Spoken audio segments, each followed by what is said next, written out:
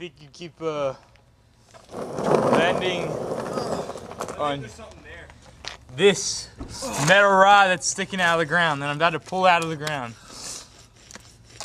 That hurt. I moved it. Yeah, we should put that on YouTube. Oh my god. You guys keep landing on this.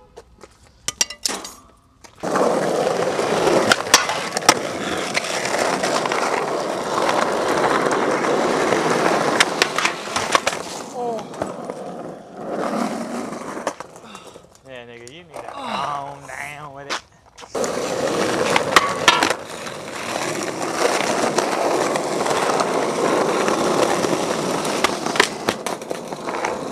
Oh no!